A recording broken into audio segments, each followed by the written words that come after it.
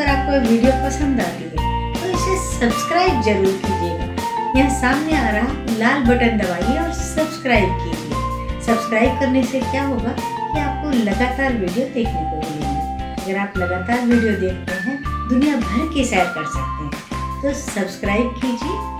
फंजोमैनिया